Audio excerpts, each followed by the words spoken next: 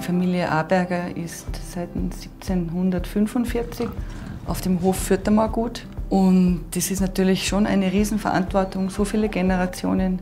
Alle haben ihr Bestes getan, um das zu machen, da wo wir jetzt sind.